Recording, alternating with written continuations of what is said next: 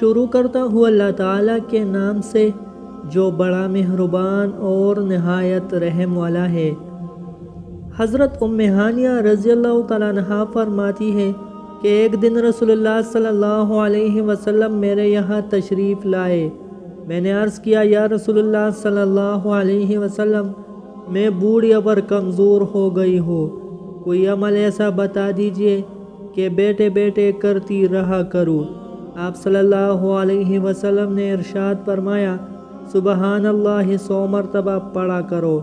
इसका सबब ऐसा है, गोया तुम औलाद इस्माइल में से सौ ग़ुलाम आज़ाद करो।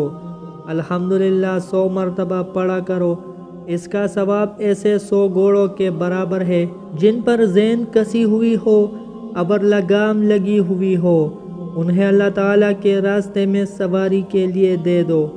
अल्लाह अकबर सौ मरतबा पढ़ा करो।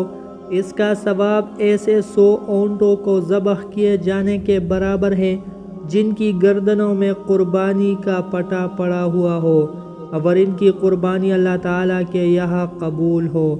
ला इल्लल्लाह, सौ मरतबा पढ़ा करो।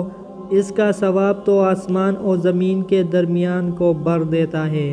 अगर इस दिन तुम्हारे अमल से बढ़कर किसी का कोई अमल नहीं होगा। जो अल्लाह ताला के यहाँ कबूल हो। अलबत् उस शख्स का अमल बढ़ सकता है, जिसने तुम्हारे जैसा अमल किया हो। प्यारे दोस्तों, अल्लाह ताला हम सब मुसलमानों को इन हदीस मुबारक पर अमल करने और अपनी ज़िंदगियों को संवारने की तौफीक दें।